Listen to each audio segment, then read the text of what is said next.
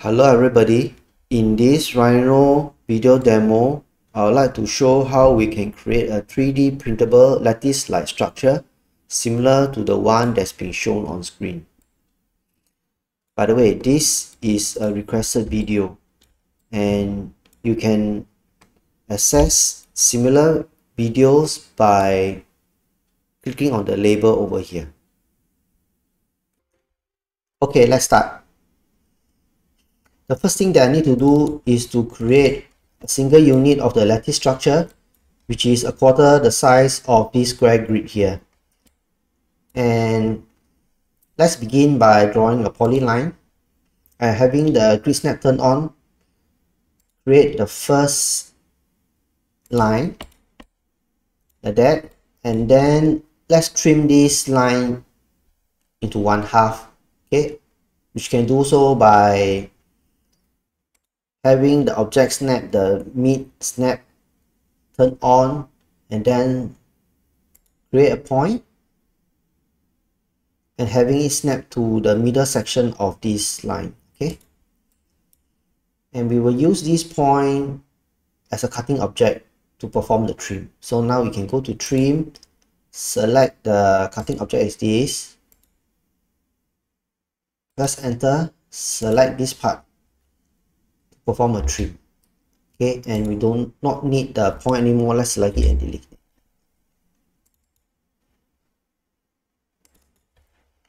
Okay next thing we need to do is to raise this uh end position upwards. Okay let's select it and then click on this end point and click on the arrow transformation widget and specify uh, distance okay?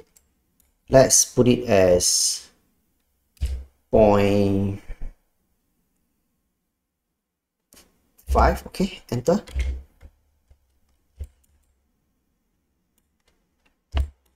And the next thing I need to do is to create three more spoke of this okay and we can do so by using the polar array. So i'm going to pull out the array and click on the polar array. Select object array is this okay? Enter. And center array is uh, with the object and snap turn on. Select this okay as a center. And please ensure that you are doing it in the correct view as this command is view specific. In this case here i'm doing in the top view so that the array will be performed in a way that is perpendicular to our view okay? So center of polar array is this and the number of items which is inclusive of the original should be 4 so press 4 enter and fill angle 360 enter enter to accept okay? And I've got the bottom half of the lattice pattern okay? Now let's create the top half okay? Which you can do so by using the mirror command okay? So I'm going to use the mirror command or simply type mirror at the command prompt okay? Select object mirror select these four spokes okay? Enter. Start mirror plane okay? Make sure that the object snap end is turned on so this is the start okay? And then by pressing and holding the shift key I'm able to establish a temporary ortho okay and then click anywhere along this direction to establish the second point of the mirror plane okay? And I will have this thing here okay? As mentioned earlier this structure needs to be a quarter the size of this square grid okay? So what I'm going to do is to scale it down okay? So with the whole thing selected let's group it okay? And what I need to do is to move the center pivot to this corner before I perform the scaling. To do that I can press and hold the control key click on the center pivot of the gumball release the control key and with the object and snap turn on snap to this corner okay? Something like that. And then I need to perform a proportional scaling with a factor of half okay? So we can do so by pressing and holding the shift key. Press the hold the shift key and click on any of the scaling widget okay? Could be this or this or this okay? So i will click on this. And then because i want to scale it to half size so i'm going to type uh, 0 0.5 enter. And yep i got uh, our single unit of the lattice structure. I think i want to move it this thing to start from here. So what i'm going to do is uh, select it again. Press and hold the control key. Snap to this end. And then using the grid snap snap this to here okay? Yep. Okay i got this design here okay and now let's proceed to make multiple instances of it okay? To create our lattice structure. We can do that by using this command here the rectangular array okay? So i'm to click on this rectangular array. Select object to array is the structure that we have created. Enter.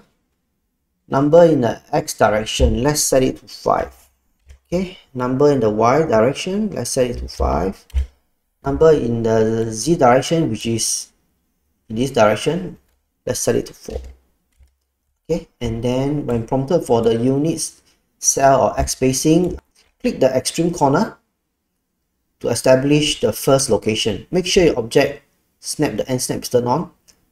Okay when asked for the other corner let's uh, snap to the other corner which is here. Okay. And when prompted for the height let's move up the cursor and snap to this corner over here. Okay. Let me zoom in. Yeah this corner over here press down and enter to accept. Okay so we got the grid structure. Okay. The next thing i need to do is to create the rectangular frame for this lattice okay? I can do so by firstly creating a bounding box okay? So i'm going to type bounding box and select the entire structure. Press enter enter. And you notice that um I created a bounding box.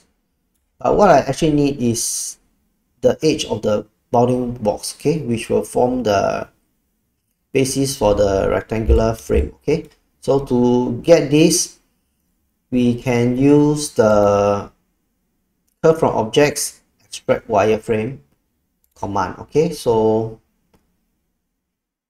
using the extract wireframe select the bounding box press enter and you notice that we have curves created okay? Which are the wireframes okay and now I don't need the bounding box anymore. I'm going to select it and press the delete key. Okay. Okay I reckon the next thing I want to create is the frame. The rectangular frame. Okay. And let's head over to the sub D toolbar by going to new in V7 sub D toolbar and use the multi-pipe command to create a frame. Okay so I can click on uh, this select the curves.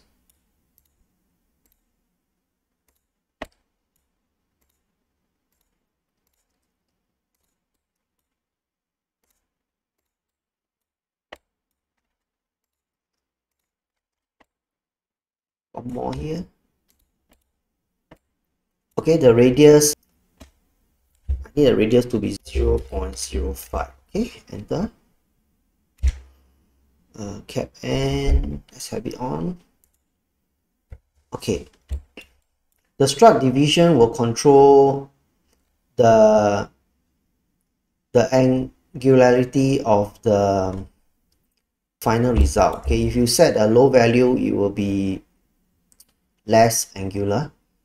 Higher value will give better result. Okay let's just use one and see what happens okay you see that if i were to use one i get something that is like quite rounded over here which is not what i need okay? I need something that is conforming more to this wireframe so let's delete this and redo the multi-pipe again okay?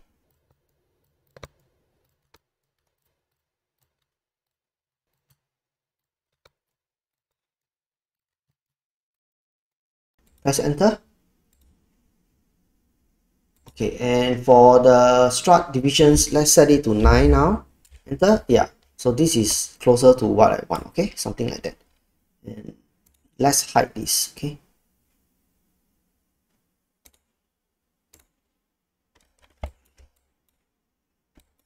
And the frame as well.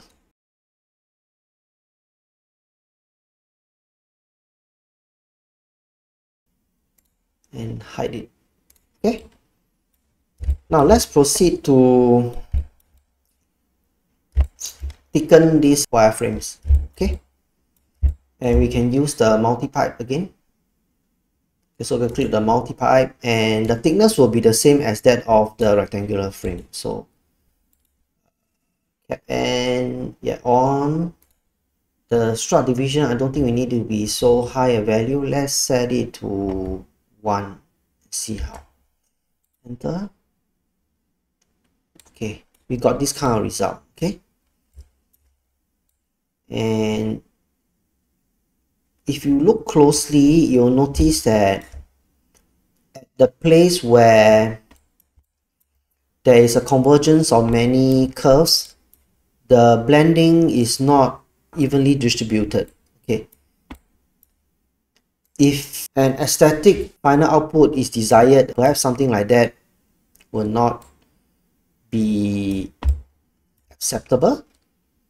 So what I'm going to do is um, create an alternative method to circumvent this twisted blend over here okay?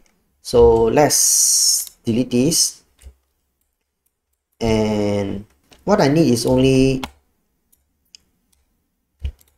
maybe the original structure here okay? And let's remove the rest. So I'm going to do an inverse selection okay? I don't need all these and let's just delete them okay? As mentioned just now the blends over here pertaining to the sub D object uh, was not well distributed. And my guess is that because there are too many curves converging onto a single point here. So what I'm going to do is work around this limitation by reducing the number of convergence over here by creating another curve here and then connect the bottom and the top half to two ends of the curve okay? So uh, let's start now. Let me ungroup this. So what I'm going to do is uh, let's move this downward. Okay let's say by uh, 0.1 okay so i'm going to type uh, minus 0 0.1 okay? To get something like that. Maybe that's too much. Okay let's let's just have a give a smaller value. Okay? Uh, maybe 0 0.05 okay something like that. Okay? So in theory I, I need to have all these connected in this way okay? So what I'm going to do is let's just move this down like that okay? Since they are all going to be of the same height okay? To move this down. Make sure the object the end snap is turned on okay? Make sure you're not moving the entire curve but but the the end point of the curve okay? So something like that okay? And because I will want the top and the bottom to be more or less like symmetrical let's let's uh, do the same for for this okay? So I'm going to uh, set this to just 0 0.05 upwards. Oops sorry. Let's do it do this again. I'm going to take away that that minus sign okay? Okay? And let's snap this to here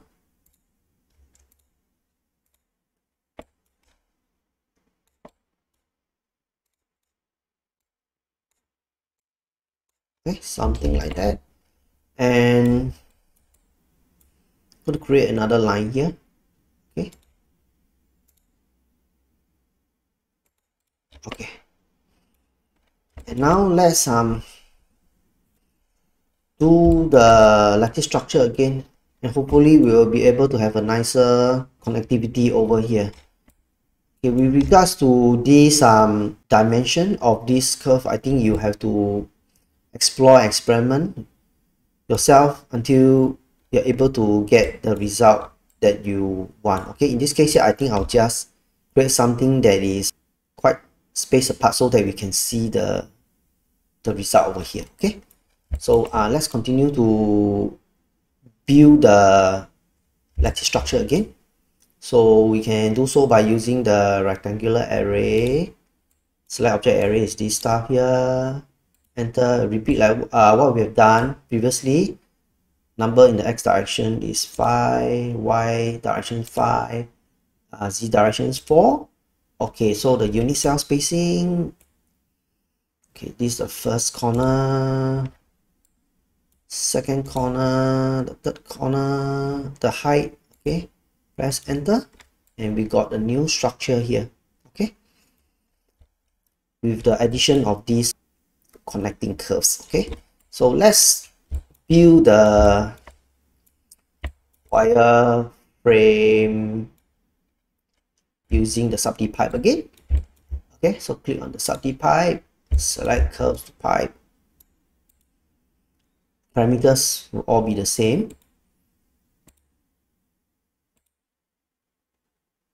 Okay yeah. So now we got this result and you'll notice that the blending is more evenly distributed because of the changes that we have um, performed in these areas okay?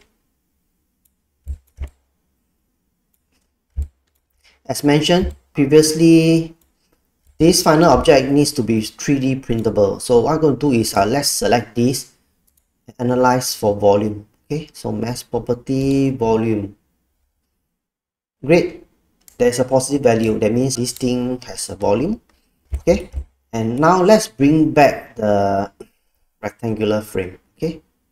So right mouse click to show object and yeah got frame back. And now let's merge the frame to the lattice structure. Okay? By using the boolean union. Okay? I'm going to union this into one solid object that is uh, a 3d printable. Okay? So using the solid tools the boolean union. Okay click on it. Select surface to union is this and this. Press enter. Okay it's done. Let's check for volume. Analyze mass property volume.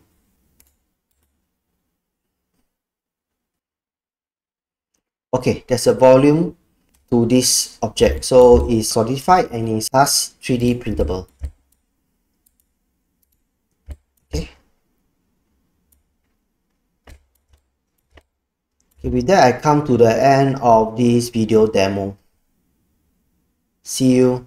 Bye